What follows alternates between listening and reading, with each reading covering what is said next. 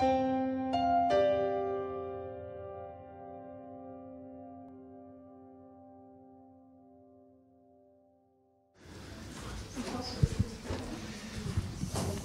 dann sage ich nochmal offiziell guten Morgen und herzlich willkommen zu unserem Workshop. Wir warten jetzt einfach noch ein bisschen so en passant auf Nachzügler, weil wir einen Ortswechsel hatten. Äh, und äh, wenn Sie jetzt schon Sorge haben, dass wir jetzt auch wieder in Reihenbestuhlung hier sitzen, das wird sich den Tag über auflösen. Also wir wollen ganz bewusst ähm, natürlich nicht jetzt hier den ganzen Tag von vorne frontal auf Sie einreden, sondern wir wollen das ganz bewusst ähm, interaktiv gestalten. Schön, dass Sie hier sind. Wir haben ein Überraschungsmenü vorbereitet.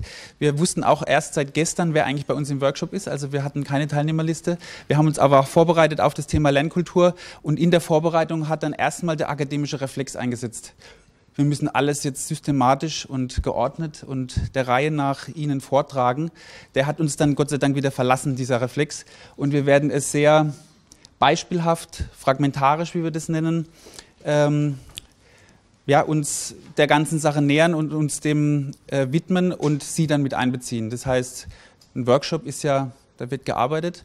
Äh, der, die Idee wollen wir hier auch umsetzen. Das heißt, wir wollen jetzt gerne zum Anfang so ein bisschen ein Warmwerden machen. Ja, vielleicht. Das Produkt des akademischen Reflex geht Ihnen nicht verloren, ist bei uns auf der Website abgelegt. Genau. Zwei, zwei Papers und zwei Slideshows. Genau. Die wir Ihnen vielleicht alle vier ersparen. Ja. Wir, wir sagen nachher nochmal, wo Sie die Sachen finden. Äh, wir sind ja sehr auf Multiplikation ausgelegt. Das heißt, wir wollen ähm, hier Beispiele, Kostproben geben, aber Sie finden ganz viel auf unserer Website. Das werden wir uns den Tag über heute nochmal angucken. Ich will uns nochmal kurz vorstellen. Den Bernd Schmidt, den kennen wahrscheinlich die meisten. Ich bin der Thorsten Veit, der Geschäftsführer des ISB. Und wir haben uns gut vorbereitet und wir wollen aber auch ein bisschen gucken, was sind Ihre Interessen und was sind sozusagen Ihre, Ihre Leidenschaften an dem Thema Lernkultur und Lernen in Organisationen. Äh, warum habe ich das Mikro in der Hand? Weil wir gerne eine Videoaufnahme machen wollen. Das ist jetzt nicht zur Verstärkung, sondern das ist einfach, damit der Ton gut aufgenommen wird. Und auch dieses Video würden wir dann Ihnen und auch anderen, die dann an dem Thema interessiert sind, auf unserer Website zur Verfügung stellen. Vielleicht waren Sie schon mal auf unserer Website, da gibt es ganz viel Audio, Video, Schriftmaterial und da wird das dann ein weiteres ähm, Themen Feature oder ein Themen-Special sein. Unser Medienteam ist deswegen da. Wenn Sie da nichts dagegen haben, würden wir das gerne so machen. Wenn Sie sagen, da ist irgendein Beitrag von Ihnen dabei, den Sie nicht veröffentlicht haben wollen, dann sagen Sie uns das gerne. Dann schneiden wir das entsprechend raus. Wie ist da die Stimmung in der Hinsicht? Passt? Okay. Noch besser ist natürlich, dass wenn Sie etwas, was Sie nicht veröffentlicht haben wollen, gar nicht sagen. das ist für alle einfacher. Ähm, noch, eine, noch eine organisatorische Sache oder eine Rahmungssache. Wir würden hier gerne auf das Du umsteigen. Vielleicht waren Sie da gestern auch schon in den anderen Workshops so unterwegs. Bei uns ist es wie auf dem Schiff. Man geht an Bord, man duzt sich. Danach darf man sich auch das Sie wieder anbieten, wenn es angemessen ist. Aber so ist es für die Arbeitsatmosphäre und für die Lernkultur aus unserer Erfahrung äh, ein ganz guter Rahmen. Äh, der Bernd. Genau. Äh, wir haben immer so in anderthalb Stunden Slots gedacht. Also wenn wir sieben Stunden haben, eine Stunde Mittagspause, eine Dreiviertelstunde abziehen, dann haben wir immer so einen Rhythmus von anderthalb Stunden, sodass wir auch dann gerne, also wir machen sowieso informelles äh, mit in, in die äh, Untergruppenübungen reflektieren und, und aneinander andocken, aber dass auch dann eine Pause mal da ist, um sich kurz frisch zu machen. Ähm, wie wollen wir anfangen? Wir haben uns gedacht, irgendwie müssen wir ja warm werden und irgendwie müssen wir mit dem Thema in Berührung kommen. Deswegen haben wir uns ähm, Folgendes überlegt. Wir würden gerne in so einer kleinen Interview-Session hier einsteigen. Also ich würde den Bernd interviewen und wir steigen so ein bisschen ins Thema ein. Und wir werden dann aber im Verlaufe des Themas sehr schnell nicht nur konzeptionell, sondern beispielhaft werden. Und das machen wir so vielleicht eine halbe Stunde, würde ich mal denken. Und dann gehen wir auch direkt in die Reflexion Ihrer Punkte. Das heißt, wir lösen dann das Plenum auf. Hallo, herzlich willkommen. Come in. Ja, ja, klar, gerne. Äh, wir können gerade anhand des Beispiels dann andocken an die Themen, die bei Ihnen ausgelöst wurden, wie Sie es mit Ihrer Praxis verbinden.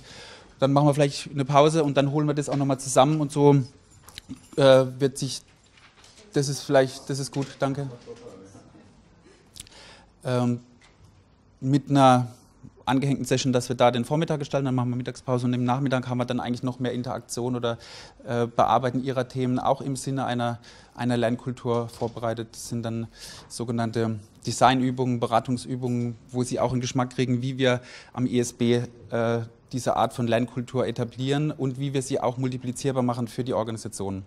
Also deswegen ähm, ist jetzt heute für uns nochmal wichtig, wir wollen Ihnen Beispiele geben, wie wir auch am ISB arbeiten. Wir wollen jetzt auch nicht zu viel vom ISB erzählen, aber ich glaube, es wird schon nochmal deutlich, wie wir auch unsere Lernkultur gestalten und was davon unsere Teilnehmer mit in ihre Organisationen nehmen. Das heißt, ähm, wir erzählen gern vom ISB, wie wir es da machen und docken dann aber an ihre, ähm, an ihre Organisationshintergründe an und sie dürfen sich fragen, was sie davon mitnehmen wollen und können.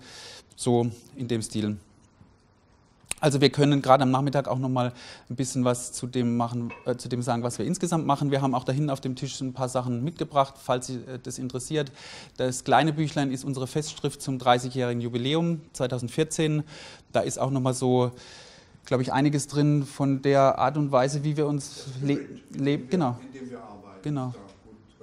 Ja, also wie Leben und Wirtschaften und ähm, Menschorientierung und Leistungsorientierung verbunden ist und wie wir da auch in unseren Curricula für eintreten. Also nehmen Sie sich gerne was mit, wenn Sie da noch mehr ein, ein Geschmäckle kriegen wollen, wie man das bei uns hier sagt. Ist es so passend vom Rahmen? Ja? Gut. Da kommt noch jemand. Herzlich willkommen.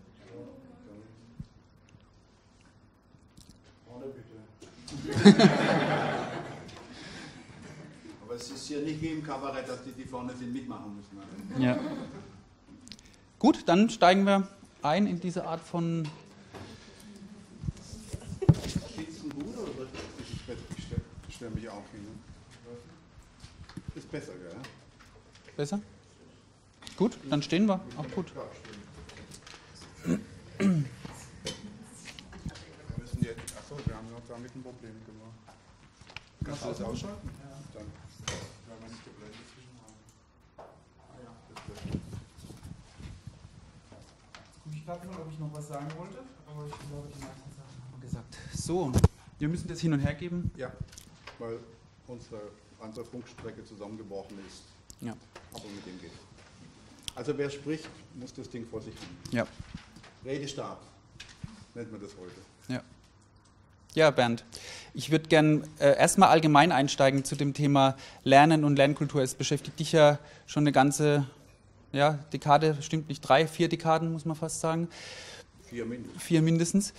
Ähm, mal ganz allgemein gesprochen, was äh, hängt überhaupt an dem Thema dran? Warum Lernen, warum Lernkultur in Organisationen? Was ist mal so ganz allgemein betrachtet auf die Frage, äh, das, was die Organisation da eigentlich interessieren sollte oder interessieren wird, und zukünftig noch stärker interessieren wird?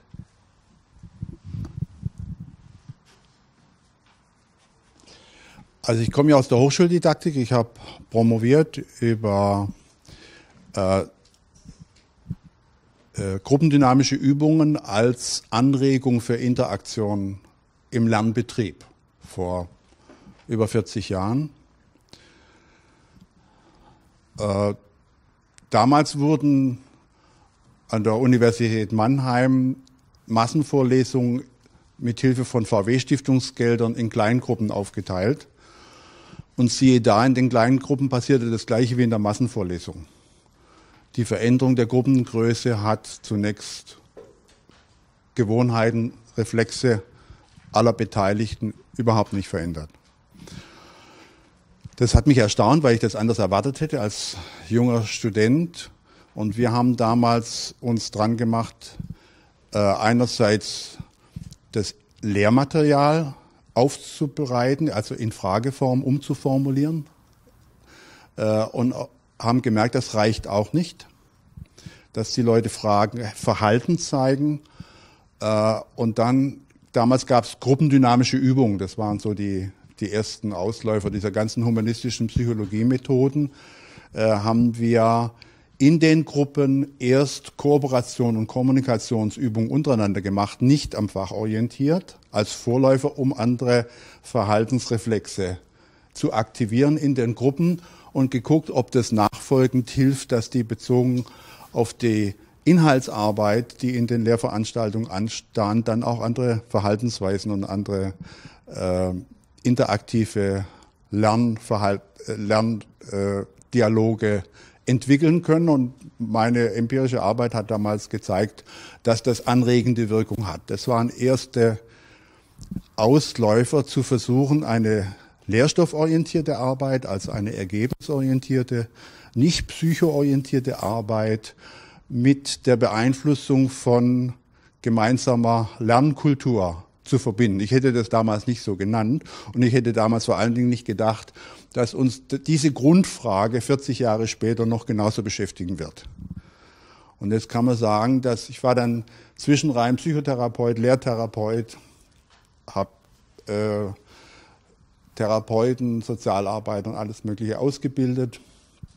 Und irgendwann ist mir diese Verengung auf Psycho und Ergriffenheit und ganz persönliches Lernen zu eng geworden und wir sind nach und nach dann rübergewechselt wieder äh, mit dem Institut äh, Menschen aus dem Organisationsfeld, aus dem Gesellschaftsfeld einzuladen und auszuprobieren, wie kann man so gemeinsam lernen, dass nicht nur die Person zu sich findet und mit sich mit ihrem Stil auseinandersetzt, äh, uns die persönliche Selbststeuerung verbessert, sondern was kann man dazu tun, dass sich das auch in der Inhaltsarbeit, wofür die in ihren Feldern, aus denen sie kommen, da sind, auch wirklich Fortschritte machen.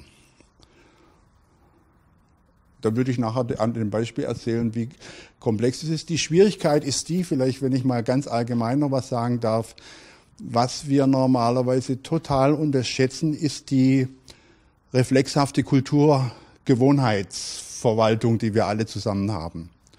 Jeder von uns, das weiß jeder für sich, hat eine ganze Menge von Gewohnheiten entwickelt und weiß gar nicht, dass er sie entwickelt hat und weiß gar nicht, wie er sie in sich aktiviert. Also zum Beispiel, ob ich abends mir noch ein Bier hole oder nicht, hat was damit zu tun, ob ich noch mal ins Erdgeschoss gehe oder nicht. Wenn meine Frau eher darauf achtet, dass ich nicht noch mal ins Erdgeschoss gehe, dann trinke ich auch kein Bier mehr an dem Abend. Und so haben wir ganz viele, jeder Kreisläufe in sich, in denen wir Gewohnheiten, gute wie schlechte, aktivieren und am Leben halten, wie auch in der Interaktion. Und deswegen ist es kein Wunder, äh, dass es so schwer ist, Verhaltensweisen zu verändern, insbesondere gemeinschaftliche Verhaltensweise am Arbeitsplatz durch jemanden, der frisch aus dem Seminar kommt. Da ist derartig viel, äh, ohne dass die Menschen das eigentlich richtig im Bewusstsein haben, gegenläufiges sich wieder einladen in die alten Gewohnheiten. Da das, da hat keiner bösen Willen, da will keiner übermäßig konservativ sein. Wir tun das einfach auch. Und deswegen ist es eine Riesenherausforderung zu überlegen, was muss alles zusammenkommen, um aus der persönlichen äh, Neubelebung, die man durch viele Bildungsmaßnahmen ja kriegt, vor Ort auch eine Chance hat, äh, die Kultur an der Homebase zu beeinflussen. Und das ist die Grundfrage, mit der wir uns beschäftigen und von daher denkend wir auch versuchen, unsere Didaktik zu entwickeln. Wir haben ja am ISB immer auch gesagt, Ideen sind ja viele da. Ja. Ähm, auch wir haben viel entwickelt. Wenn du jetzt nochmal auf deine Erfahrung schaust in den letzten vielen Jahren, was ist da die größte Herausforderung in der Umsetzung? Wir haben ja immer gesagt, es gibt eigentlich einen Umsetzungsbedarf, ein Umsetzungsproblem. Wo, wo tut sich die äh, Unternehmen dahingehend am schwersten? Ein bisschen was hast du davon schon angerissen, aber mehr noch auf der Personenebene. Was, was wäre das jetzt in die, noch stärker in die Organisation hineingedacht?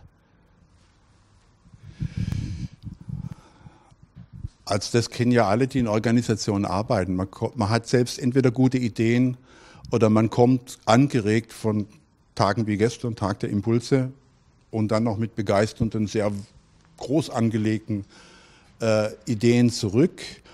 Und ähm, die anderen sind so beschäftigt damit, die Komplexität in, in einigermaßen geregelten Abläufen aufrechtzuerhalten, ähm, dass sie erstmal verständlicherweise nicht sehr viel Interessen haben, das aufzunehmen. Und selbst wenn sie das Interesse hätten, ist die Ausstattung dessen, der zurückkommt, aus ein paar guten Ideen, da jetzt eine gemeinsame Arbeitsform zu machen, die auch noch irgendwie ökonomisch bewältbar ist und die auch noch von anderen verstanden wird und in der Organisation getragen wird, die ist einfach äh, sehr schwierig. Also es ist eine enorme Überzeugungsarbeit, die man leisten muss. Und das Problem ist, dass wir auf solchen Kongressen wie hier den Modus äh, beigebracht kriegen, überzeuge durch Begeisterung und durch große Ideen. Und das führt dazu, dass wir die Leute, die da nicht waren und die eh schon angenervt sind von diesem Begeisterungstaumel, der wieder auf sie zukommt, dann sagen, ja, aber in der Realität ist doch alles ganz anders. Was einerseits richtig ist, andererseits aber auch natürlich ein Hemmschuh äh, für den gemeinschaftlichen Versuch davon, was in die eigene Kultur zu übernehmen. Deswegen äh, überlegen wir uns, und da wird heute noch viel Rede davon sein, wie, wie müssen wir eigentlich die Menschen anregen zu lernen und wie müssen wir sie ausstatten und was muss alles zusammenkommen auf den ganz verschiedenen Gestaltungsebenen, auf denen eine Organisation äh, gesteuert wird, äh, damit es eine Chance gibt, wenigstens kleine Brötchen in Sachen neuer Lernverhaltensweisen, gemeinschaftlicher Lernverhaltensweisen, die auch noch getragen wird vom Zweck der Organisation. Also wenn man das Gefühl hat, da kommt auch was für bei raus, für das, wofür die Organisation da ist, äh, das zu aktivieren. Und das ist ein komplexes Geschäft, das ist ein ziemlich dickes Brett, wie ich in dem Paper geschrieben habe. Und wir sind bei weitem nicht an dem Punkt, dass wir sagen können, wir haben dafür ein Patentrezept. Was wir hauptsächlich tun, äh, insofern bin ich ein Guru, bin ich ein, hallo, insofern bin ich ein Guru, nicht weil ich jetzt hier mit dem Heiligenschein rumlaufen will. Mir hat eine indische Kollegin mal gesagt, ein Guru ist ein Remover of Ignorance. Das heißt, wir sind äh, oft auch in begeisternder Weise ignorant gegenüber dem, was alles zusammenkommen muss, dass in Organisation Kultur sich verändert. Wir unterschätzen total diese Aufgabe. Und insofern tragen wir einiges dazu bei, äh, sozusagen aufgeblähte Teillösungen und Teilperspektiven wieder ins richtige Maß zu bringen und sie mit den anderen notwendigen Gestaltungsgesichtspunkten zusammenzubringen, dass zusammen die Chance besteht, dass ein kleiner Fortschritt erzielt werden kann. Wir haben ja in unseren Weiterbildungen äh, sozusagen die Rolle, dass wir auf unserer Lerninsel die Themen von draußen aus den anderen Welten mit reinholen und dann beispielhaft auch in unseren Curricula daran arbeiten und die Menschen so weit ausstatten, dass sie wieder zurück in ihre Organisation gehen können. Das hatten wir gerade schon angesprochen. Wir hatten aber auch äh, das Glück, immer wieder mal wirklich gelungene Projekte begleiten zu dürfen. Und da ist uns jetzt ja in der Vorbereitung ähm, ein ganz schönes Beispiel eingefallen und aufgefallen, glaube ich, woran sich einiges zeigen lässt von dem, was ja. du jetzt eher schon in so ein bisschen programmatischen Art und Weise äh, dargestellt hast. Und es ja. wäre vielleicht gut, wenn wir da einfach nochmal reingucken, immer mit der Idee, was ist da beispielhaft äh, ableitbar auch an Prinzipien. Ja, und auch die Entwicklung. Das, mir, mir fallen die Sachen immer unter der Dusche ein. Heute Morgen ist es mir wieder eingefallen, dass ich eigentlich gern von meinem Kollegen Anandan Gieson aus Chennai in Indien erzählen möchte, mit dem ich in den letzten Jahren äh, gemeinsam einen Entwicklungsprozess gemacht habe. Das ist jetzt, da erzähle ich jetzt ein bisschen, aber wie ich so drüber nachgedacht habe, das hat eigentlich alle Aspekte äh, der Entwicklungsrichtung, in die wir schon ein Stück gegangen sind und die für die weitere Wege zu bahnen sind. Anandan Giesen war ein Ex-Unternehmer, der ins psychologische Fach gewechselt hatte, der dann Psychotherapie studiert hat, also Transaktionsanalyse und bereits als internationaler Lehrer für Transaktionsanalyse erfolgreich war.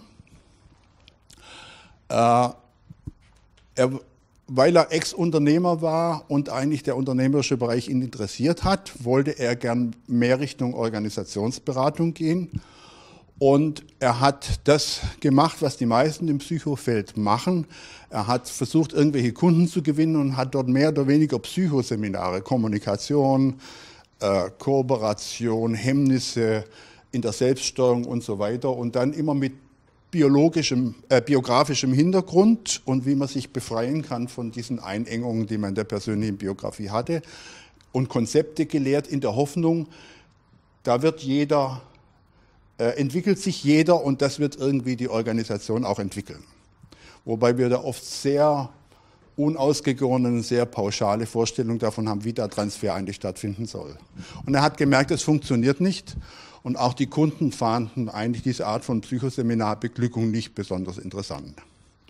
Und dann hat er gesucht, was gibt, welche neuen Wege gibt es. Und er hat mich dann kennengelernt in einem Seminar in Oxford, vor vier Jahren war das etwa.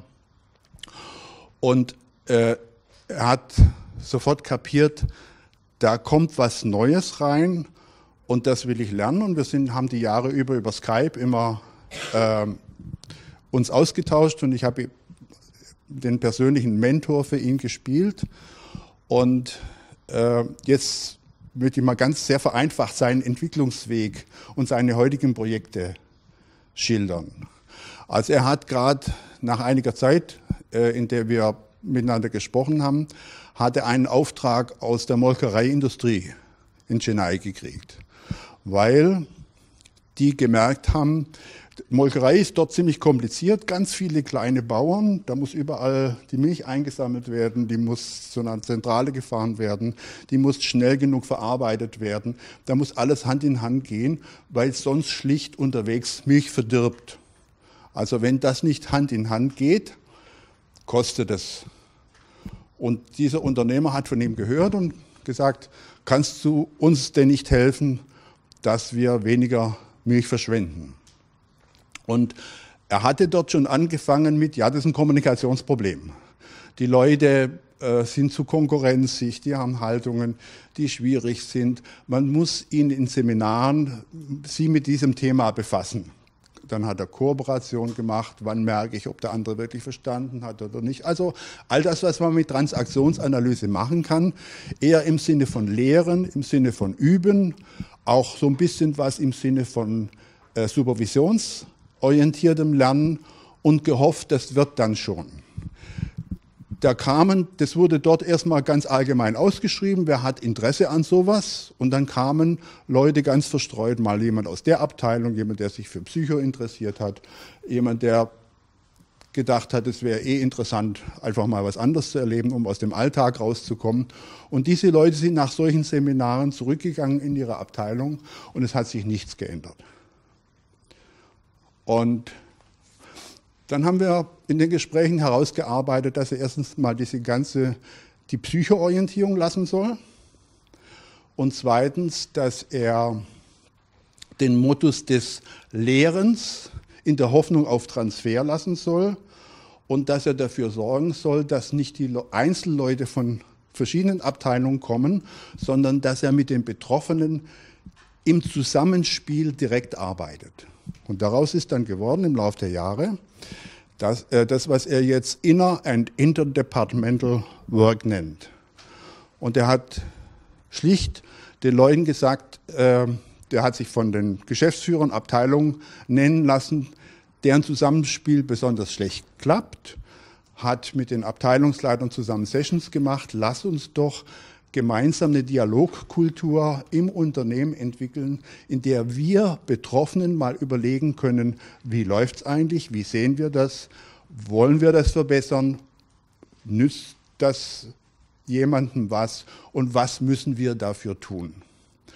Und der hat dann angefangen, mit denen zusammen zu entwickeln, äh, was man zum Beispiel machen muss, dass die Leute in der Abteilung miteinander reden, wo erlebe ich Zusammenarbeit in der Abteilung und außerhalb der Abteilung als gut, wo erlebe ich sie als schwierig, was ist die Schwierigkeit aus meiner Sicht, wer sind die Menschen, mit denen ich reden muss, weil die für mich wichtig sind, für meine Selbststeuerung und meine Kooperation?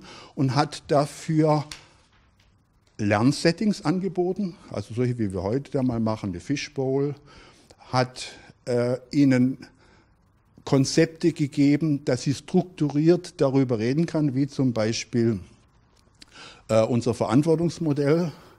Also wenn was schief läuft, dann kann man das versuchen zu übersetzen in nicht gelöste Fragen, für die es keine angemessenen Antworten gibt, die dann zu Unbehagen führen. Jetzt kann man überlegen, okay, welche Verantwortung heißt, welche Fragen sind eigentlich, stellen sich an der Stelle, welche Art von Antworten stelle ich mir vor und wen brauche ich, um diese Antworten zu geben.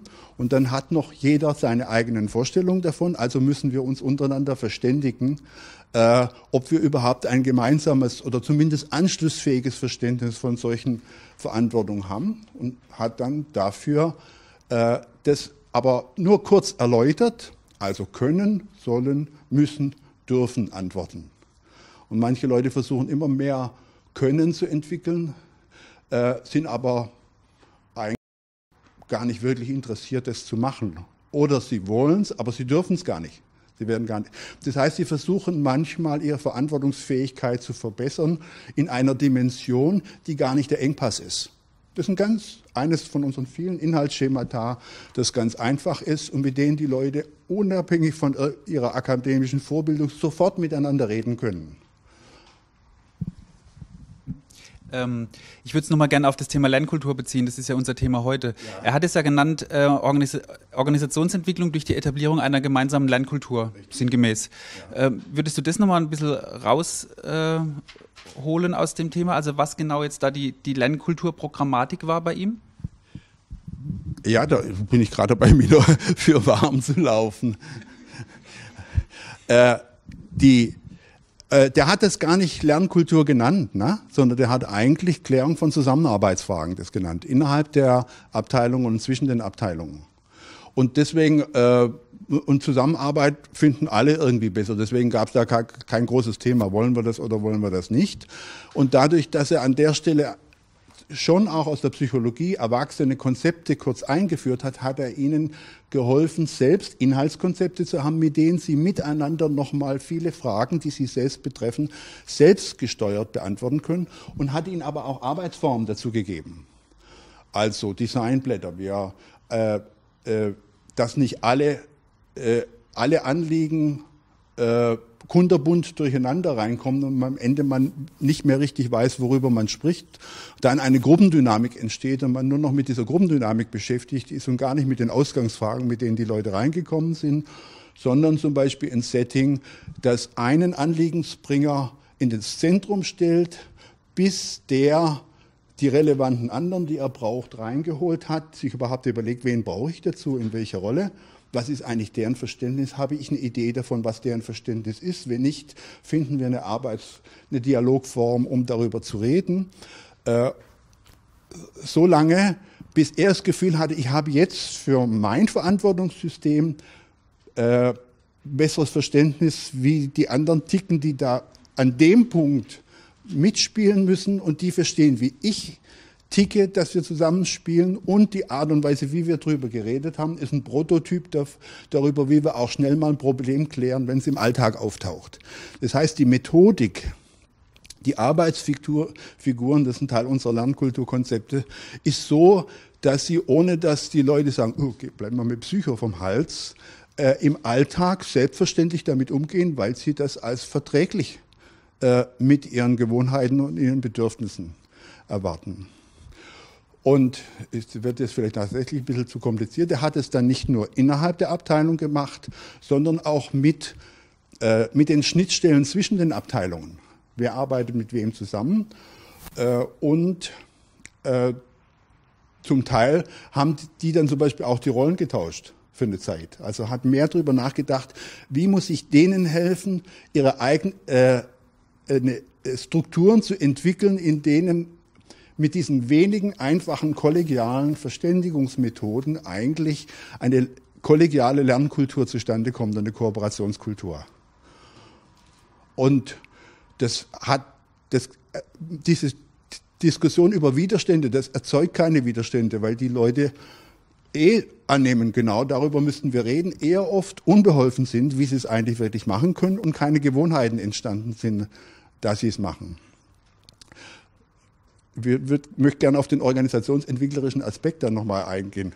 Und äh, dann ist ziemlich schnell, oder kann ich das Beispiel fertig erzählen ja. oder ist für mich zwischendrin? Also es hat auf jeden Fall dazu geführt, äh, dass die Führungskräfte gesagt haben, das ist eigentlich toll, weil so können wir unsere Führung wahrnehmen indem wir dafür sorgen, dass solche Gespräche auch stattfinden und indem wir lernen, wie man als Regisseur sicherstellt, dass solche Gespräche auch funktionieren. Das heißt, die fingen an, in ihr Führungsverständnis ein Lernregisseurverständnis mit aufzunehmen. Und das ist etwas, wofür ich plädiere. Wir brauchen in allen Funktionen in der Organisation immer eigentlich das, den, die Zwillingsfunktion des Lernens und des Lernregisseurs. Das heißt, weil alle komplexen äh, Herausforderungen der Rollen in Organisation heute eigentlich mit ständigen Lernprozessen verbunden ist. Also muss eigentlich jeder auch fokussiert auf seine Rolle und seine Verantwortung auch zuständig, sich für Lernen der Beteiligten zuständig führen. Da fällt dann vieles drunter, was heute eh unter Führung drunter fällt. Das ist jetzt nicht, äh, dass damit das Rad neu erfunden wird, aber dass sich die Menschen dafür zuständig fühlen, das ist bisher völlig ungewohnt. Und dann geht's weiter. Die haben nämlich dann in kürzester Zeit enorm viel verdorbene Milch eingespart, was den Unternehmer überzeugt hat, weil es wirklich Profit gebracht hat. Und sofort hat er gesagt, kannst du, in, die haben zwölf Werke in Indien, das ist ein ziemlich großer Konzern, könnt ihr nicht da und da und da und da überall eure Leute schicken, gleich eine ganze Armee, die das überall machen, weil hat Donnerzeichen in den Augen gesehen, dadurch natürlich der Profit sich multipliziert. Und sofort ist die Frage entstanden, erstens, der Anbieter kann so einen großen Apparat gar nicht in der Qualität so schnell aufbauen. Und zweitens, es wäre gar nicht sinnvoll, sondern die Systeme müssen lernen, das Lernen selbst in ihren Sphären zu multiplizieren. Das heißt, er hat erstens gesagt, ich kann äh, höchst, wir, wir bleiben erstmal in einer Fabrik und multiplizieren das und lernen, wie wir rollenmäßig zusammenspielen müssen, dass die Leute das selbst im Unternehmen an andere weitergeben können. Das heißt, einige von diesen Führungskräften oder von den Mitarbeitern und SAP hat ein ähnliches Konzept bezogen auf Coaching, die das besonders gut fanden. Die haben gesagt, ich möchte über mein besseres Funktionieren in meiner klassischen Rolle hinaus auch noch Lernfacilitator werden. Und SAP äh, gibt es ja die Möglichkeit, dass äh, Leute mit einer Coaching-Ausbildung 10% ihrer Tätigkeit im Unternehmen als Coach auftreten können. Und dort wurde es dann auch so gemacht, dass die Leute zu 10% ihrer Tätigkeit in anderen Abteilungen dann als Lernfacilitator diese Logik, das ganze System im Unternehmen weitergegeben haben, was auch den großen Vorteil hatte, dass da nicht ein Psycho von außen reinkam, sondern ein Kollege von einer anderen Abteilung, dem hat man das ganz anders geglaubt, dass das funktioniert. Jetzt haben wir eine Frage. Ich würde dann aber, glaube ich, so langsam auch ein bisschen den Bogen schließen. Oder ja, wie ist dein Eindruck? Weil ich könnte mir vorstellen, dass bei Ihnen jetzt schon ganz viel ja äh, losgetriggert ist. Und wir können da auch eine zweite Session nochmal machen. Vielleicht nehmen wir die Frage mal auf. Ganz kurz die Frage zur Zeitschiene. So ungefähr, wie war denn die Zeitschiene ähm, von dem Zeitpunkt an, dass Sie eben das äh, dort beschlossen haben zu tun und dann, dass ähm, Ihr Kollege gesehen hat, ah, es funktioniert? Also würde ich mal so sagen, die erste Experimentierphase war ein Jahr etwa. Äh, bei denen dann die Betroffenen einfach gemerkt haben, wir können unsere Arbeit besser tun und es geht uns besser. Und dann hat es äh, nochmal ein Jahr gedauert, bis daraus mehr und mehr ein Programm geworden ist und nicht nur äh, ein äh, interessantes Erlebnis in einer Ecke der Abteilung. Und dann hat es noch ein Jahr gedauert, bis der Anandan anfing zu überlegen, ja, und wie muss unsere Anbieterorganisation sich eigentlich aufstellen, welche Rollen, welche Art von Dienstleistung, welche Aufbereitung von Materialien und so weiter müssen wir eigentlich bereitstellen, um als Supporter für solche Systeme äh, zu wirken. Welche anderen Kollegen können wir in diesem Verständnis Ausbildung und einbeziehen? Ähm, und das geht auch bis Kundenbetreuungsfunktion, unternehmerische Funktion, dass so jemand dann in einem anderen Werk sowohl von der fachlichen Gestaltung wie von der unternehmerischen Gestaltung das selbstständig betreibt. Also die Multiplikationsfähigkeit, die Ausrollfähigkeit solcher Systeme auf der Anbieterseite erfordert nämlich auch eine ganze Menge Entwicklung. Und es ist gar nicht so einfach, Kollegen zu finden, die sich dieser Logik anschließen, weil die alle, diejenigen, die einigermaßen erfolgreich sind, haben ihre Show am Laufen. Die wollen in der Regel nichts ändern, solange die alte Show läuft. Und die Neuen sind noch zu jung und brauchen einige Jahre, bis sie entsprechend ausgebildet und reif geworden sind, dass sie in dem Spiel mitspielen können.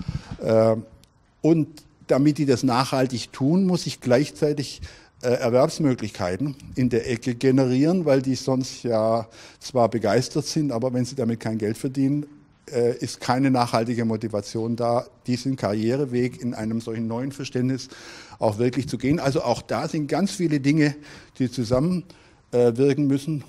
In dem Fall würde ich mal sagen, in Indien war es deswegen einfacher. Und da will ich doch noch mal geschwind noch mal was zur Emanzipation der Sache sagen, weil die von einem sehr feudalistischen System herkommen. Die haben aber, das war unser Glück, auch nicht diese ganzen äh, Psychomoden mitgemacht. Die waren auch nicht verbildet durch diese ganzen OE-Moden sondern die sind von einem relativ einfachen feudalistischen System gleich in ein solches System übergewechselt, was irgendwie einfacher war, weil man ihnen die ganzen Flausen nicht erst wieder aus dem Kopf nehmen musste, die, die Psycho, äh, der Psychobetrieb ihnen dort eingepflanzt hat. Ähm, und trotzdem, es ist ja jetzt erstmal schön, dass da keine Milch verdorben wird. Dann würde man sagen, okay, das ist jetzt nur des Profits wegen. Das ist aber nicht so. Diese Leute haben sich emanzipiert in dem Prozess. Die wurden nicht nur Regisseure ihres eigenen Lernprozesses, sondern die fingen auch an, über Gehaltsforderungen, über Mitbestimmung, äh, über Selbstverantwortung von Arbeitsfeldern und sowas zu reden. Also wie über ein trojanisches Pferd, ohne dass es vorher irgendwie propagiert worden wäre, ist eigentlich jede Menge Emanzipation in diesen den Betrieb reingekommen, was den Eigner zeitweilig hat stutzen lassen. Weil jetzt haben die plötzlich sehr selbstbewusst auch mitreden wollen. Und das haben nicht alle Führungskräfte, das ist ja oft gern so, dass die obersten Führungskräfte sich an sowas nicht beteiligen. Und solange sie das Gefühl haben, damit läuft was besser, sie haben weniger Arbeit, ist prima, aber wenn sie dann plötzlich auch herausgefordert werden, ist das schwierig. Und da gab es einige äh, Supervision Sessions, die ich hatte, ihn zu unterstützen darin, das gegenüber dem Eigner und in dieser oberen Führungsstruktur dann auch entsprechend zu vertreten. Ist aber insgesamt gut gelaufen, weil wenn, wenn das in einem Jahr, weiß nicht wie viel Geld einspart, das überzeugt jeden Unternehmer. Du hast ja das jetzt mehrfach erwähnt, äh, es wird ja daran deutlich, dass es eine deutliche Veränderung der Rollen und auch der Kompetenzen für diese Rollen ist. Also Stichworte Personenqualifizierung, aber auch, wie wir das ja immer gern kombiniert denken, Systemqualifizierung. Ähm, kannst du das nochmal darstellen, was, was da der Kern ist? Ja, also das ist ja ein wichtiger Slogan bei uns. Wir sagen, wir müssen Person, äh, systemintelligente Personenqualifizierung mit personensensibler Systemqualifizierung kombinieren. Äh, jetzt haben wir da ja viele Menschen qualifiziert als Individuen. Die können auch, wenn die woanders sind, sich besser steuern. Die haben, auch wenn sie woanders sind, Ideen, wie man einen Verantwortungsdialog führen kann, wie man mit Verantwortungsvermeidung besser umgehen kann und, und, und. Eine Personenqualifizierung, ähm, die gleichzeitig, weil sie am Arbeitsplatz oder in der Nähe des Arbeitsplatzes innerhalb der Rollen bezogen auf die Aufgaben, äh, die dort zu bewältigen sind, äh, einen Kulturfortschritt bringen, gleichzeitig eine Systemqualifizierung bringen, die gleichzeitig auch eine strukturelle Systementwicklung ist. Nämlich, dass die zum Beispiel äh, Rollentausch machen innerhalb der Teams oder zwischen den Teams oder dass äh, Menschen aus einem Bereich als Botschafter oder Lernfacilitator in einem anderen Bereich arbeiten, hat ja nicht nur einen personenqualifizierenden Aspekt, dass die lernen, Kommunikationsfacilitators zu werden, sondern es führt ja auch dazu, da, dazu, dass Menschen aus verschiedenen Bereichen berufsbezogen und kompetenzentwicklungsbezogen miteinander reden.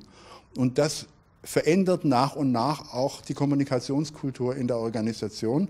Und es hat von daher einen systemqualifizierenden Effekt, der dann auf eine verträgliche Weise einige Herausforderungen auch für die strukturellen Fragestellungen, wie Bezahlung, Mitbestimmung, ähm,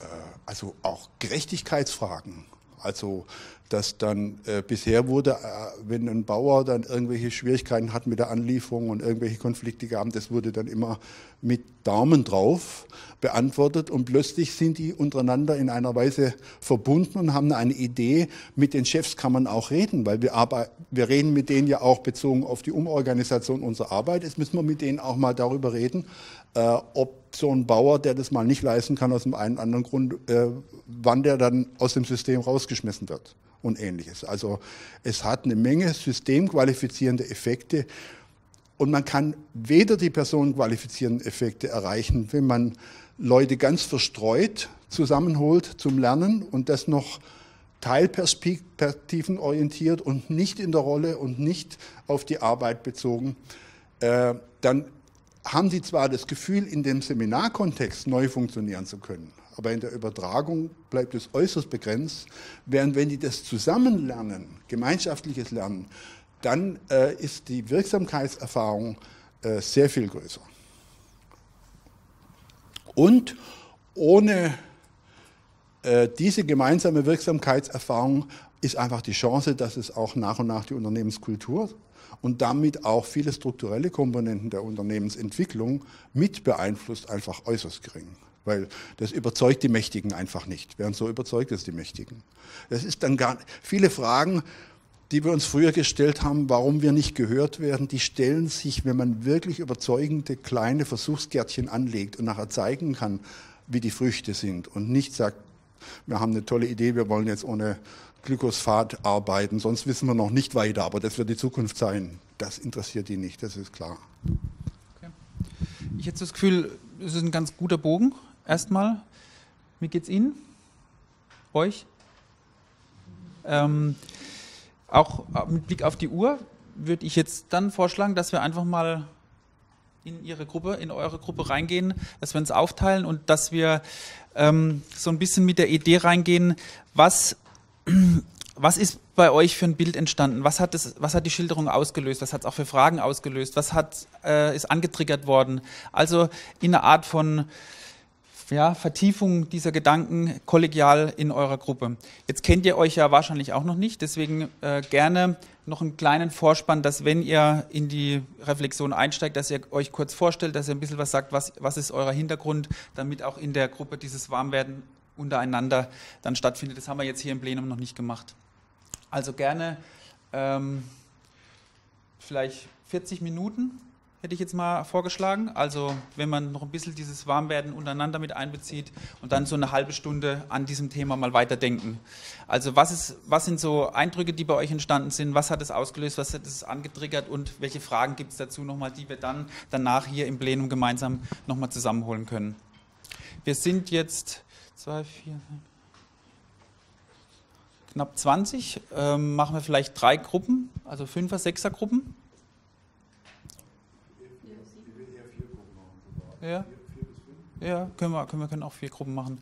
Äh, ihr habt hier, würde ich mal sagen, zwei Gruppen haben hier die Möglichkeit und draußen gibt es ja auch auf den Gängen oder unten, ihr könnt euch gerne verteilen. Genau, das ist ja sehr beweglich hier mit diesen Rollstühlen. Ähm, und dann treffen wir uns hier wieder äh, um halb zwölf. Ja? Halb zwölf wieder hier und dann machen wir einfach nochmal eine Folgesession, vielleicht in einer kleinen Fischbollrunde, wo wir das nochmal mit einsammeln, was bei euch ja, im Gruppen entstanden ist. Ja, ja, stimmt, das sollten wir machen. ja.